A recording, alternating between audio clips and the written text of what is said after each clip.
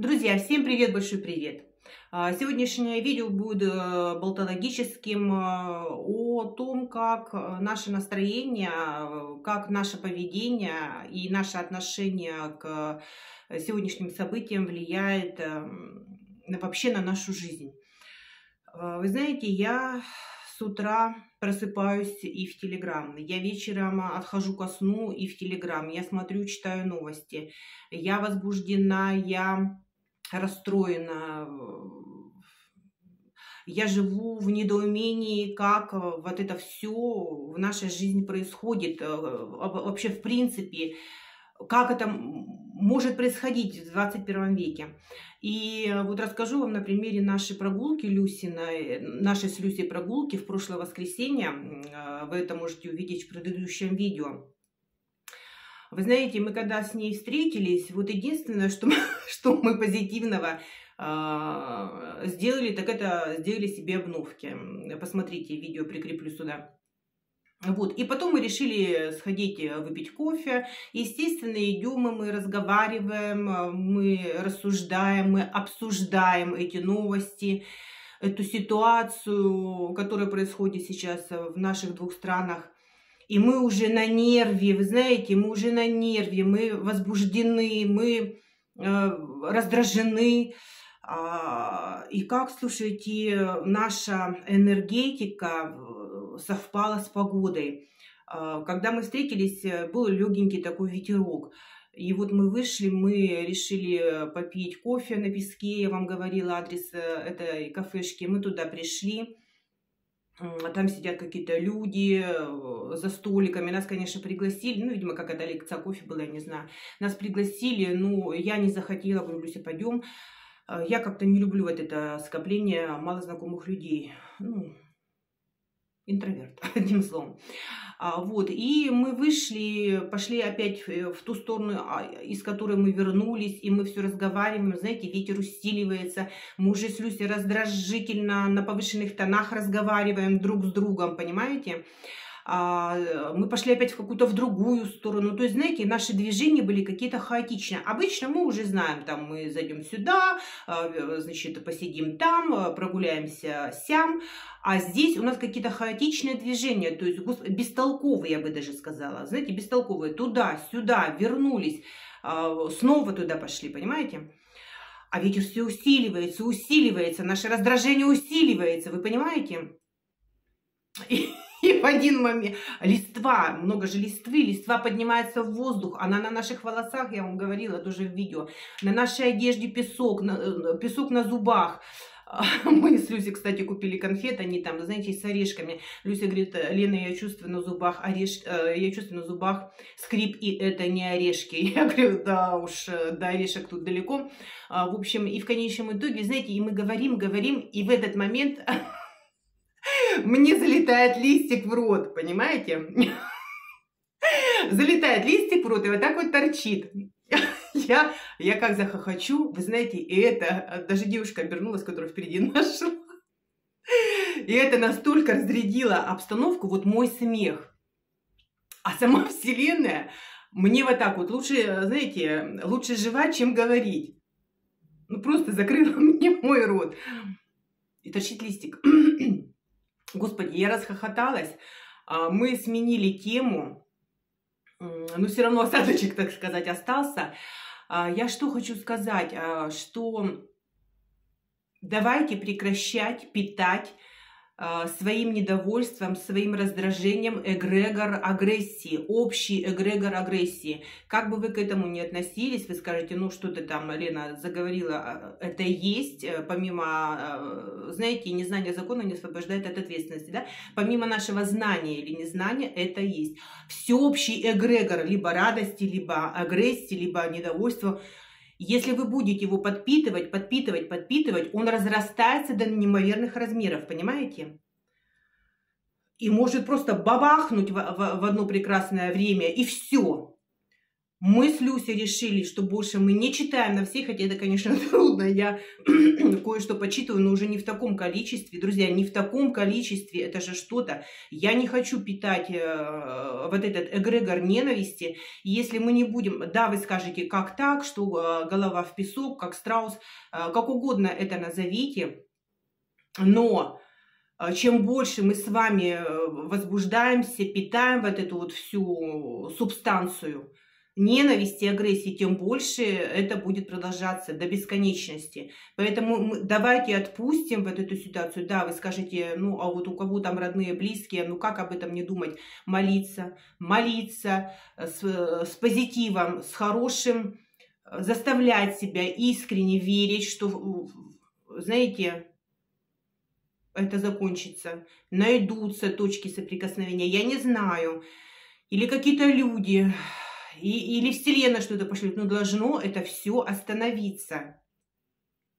Потому что я послушала, какие, э, ну, послушала и читаю постоянно, какие э, потери, все это время, естественно, какие потери несет одна и другая сторона. Это ужас, это волосы дыбом, это ужас.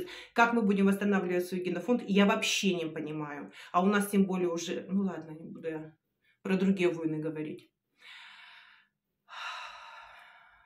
Давайте выдохнем, вот как я сейчас на самом деле. Давайте выдохнем э, и что-то будем делать созидательное. Созидать, не разрушать, а созидать. Понимаете? А, ведь смотрите, до чего договорились. А, Красовский, Красовский такие крамольные вещи уже начал говорить. Ну, кстати, он тоже это проговорил, что э, он уже извинился по поводу детей, по поводу украинских детей, что с ним нужно делать. Я даже повторять это не буду. Вы наверняка знаете, кто, э, и, и, и кто слушал, кто не слушал, и не слушайте, не ищите. Это ужасные вещи, это недопустимые вещи, которые он говорит. И он на следующий день извинился и сказал, вы знаете, когда тебя несет, ты уже не можешь остановиться. И я его понимаю. Когда тебя уже понесло, ты уже начинаешь одно, и второе, и третье тут. Ты можешь наговорить э, родным и близким гадости, подругам.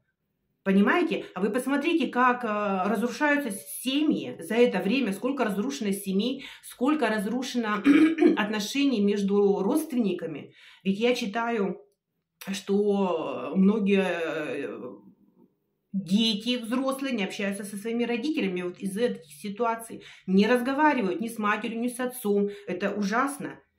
Рушится дружба между людьми. А я считаю, грош цена этой дружбе, если люди вовремя не могут остановиться и сказать, так, стоп, почему внешние обстоятельства воздействуют на нашу многолетнюю дружбу, допустим. Мы знаем друг друга, э, мы знаем э, принципиальную позицию к определенным вещам, к добру и к злу, да, почему внешние какие-то факторы взяли и разрушили нашу дружбу. Значит, грош цена этой дружбе, я считаю. Поэтому мы с Люсей, вы знаете, как-то вот этот листик настолько сыграл какую-то отрезвляющую роль а, вот в нашей вот этой встрече. И мне Люся потом пишет, Лена, давай сходим в театр на Пашнина. А, почему именно на Пашнина? Кто в Красноярске знает, конечно, этого режиссера, актера, потрясающего таланта, потрясающего таланта. Тот знает, что все его спектакли – это бальзам на душу, это смех, это радость, это, это, это просто какое-то, знаете, безграничная радость. Оттуда, когда выходишь с его спектакля, вы знаете, вот как будто бы душа развернулась. А я Ей тоже хотела, ну, наверное, наверное, недели две назад э, я проходила мимо, там, э, проезжала, вернее, мимо одного здания, где идут его спектакли иногда, и думаю, институт искусств, э, и думаю, надо Люсе предложить сходить на Пашнина, потому что все это современное искусство, вы знаете, у меня было пару роликов по этому поводу, оно к на, нам как-то с Люси не заходит. Вот это все современное искусство. А Пашнин это, конечно, чудо. И мы в воскресенье идем на э, сестер, по-моему, сестры называются, но сегодня Люся мне позвонит, скажет, э, точно сегодня должны э, мы приобрести билеты. И вы знаете, ну просто уже э, все, всем своим нутром хочется выдохнуть и, и убрать вот эту вот и из каждой клеточки мозга и сердца вот эту вот агрессию, потому что можно за, запросто заработать себе болезнь на этом. Запросто. Вот так. Значит, что еще хочу сказать, друзья, у кого, э, все, меняем тему, у кого беда с сухими волосами, у кого волосы как сено, пережженные, а это в основном бывает у блондинок, либо у людей, которые красятся, постоянно перекрашиваются и сухие-сухие волосы. А, я очень люблю тему гиалурона. А, в каком-то, в одном из моих видео постараюсь в, на конечной заставке поставить. А, я рассказывала про то, что я очень люблю гель для умывания и что там у меня еще было, тоник с гиалуроновой кислотой, и все хотела купить, у меня ну, было в планах э, приобрести шампунь и кондиционер с гиалуронкой. Ну, появилась эта новая серия у них. И я э, купила, сейчас я вам покажу, вот эта серия Эльсеф. Я очень люблю шампуни вот этого бренда Эльсеф. И смотрите, такой же бальзам увлажняющий. Что мне нравится в этой линейке? Что бальзам не 250 миллилитров, а 400. 400. Не знаю, как у вас, я, по-моему, уже говорила, но у меня почему-то бальзам всегда, когда он 250 миллилитров, естественно, он всегда заканчивается раньше, чем шампунь. Э, вот здесь прямо очень хороший объем. Вы знаете, это такое клевое увлажнение волос идет. Ой, что-то бежит у меня я э, принимала душ. А, на самом деле волосы напитанные, увлажнены, они живые. Я сейчас вам покажу, конечно. И, кстати, посмотрим, как раз э, два месяца прошло после моей стрижки. Посмотрим, как они отрастают, да? Два месяца. А, я очень довольна вот этим шампунем в плане того, что волосы на протяжении всех дней после помыва, они остаются увлажненными. Единственный минус, ну, может быть, это не минус, но назову его минусом.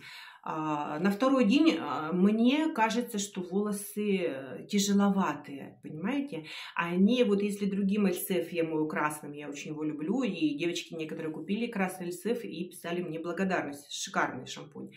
А, там сияние, они у вас долго остаются чистыми. То есть здесь они, конечно, держат воду, они напитаны, а, и они как бы вот, вот даже сегодня я помы, вымыла волосы, да, они не, не могу сказать, что рассыпчатые, они не рассыпаются, как, э, допустим, если я мою красным шампунем, а, но они держат влагу, они здоровые, они не торчат, как пакли. Поэтому я вам рекомендую. А сейчас смотрим, я сейчас расчешу, секундочку.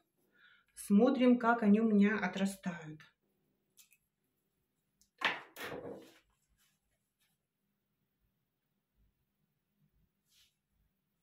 Посмотрите, как прическа держит форму. Я считаю, что держит форму прическа. И я считаю, что э, стрижка в этих салонах себя оправдывает. Ну, я имею в виду стоимость ее. Как находите?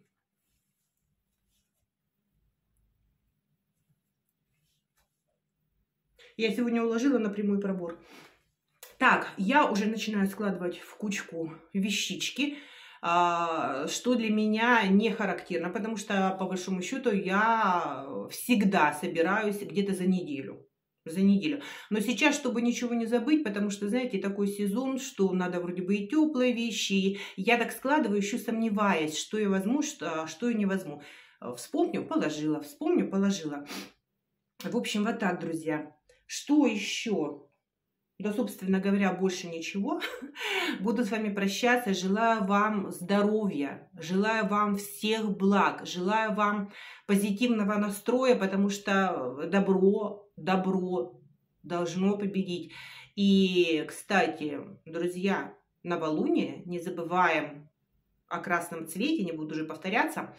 Вот, кидаем все, что можно на люстру и на шкафы. И я вас люблю, и обожаю. Желаю всем счастья, любви, здоровья и процветания. Увидимся.